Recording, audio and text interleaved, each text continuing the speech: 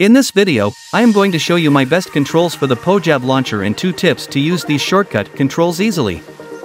There are two controls you can download, number one is non-invisible, and number two is invisible.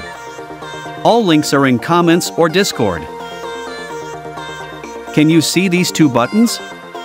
This is for speed bridging, at last, I am going to show how to bridge with this. Now the control settings, you can set this on your own. By the way guys comment your name to get shout out in next video and don't forget to get the tips.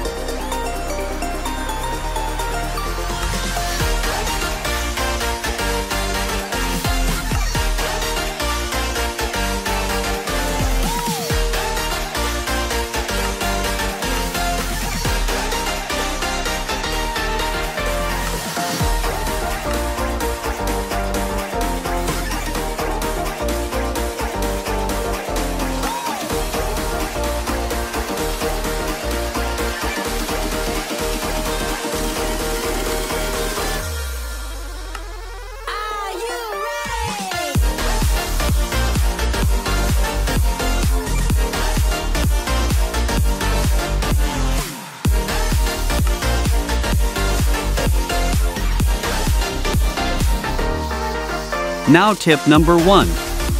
Can you see these three buttons? With these buttons, you change your game mode fast. Before talking about tip 2, let's see how to speed bridge with this. Can you see this button? As you can see this is the SD button, S for going back. And D for the go right.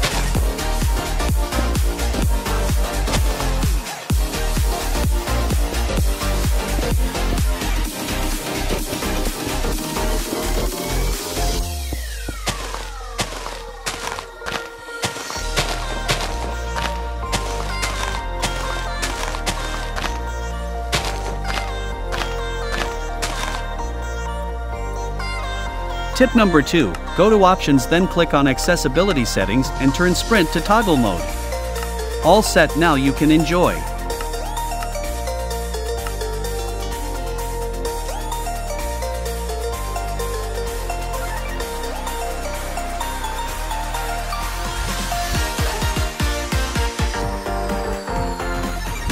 Cut this and paste it on Android data launcher files control map.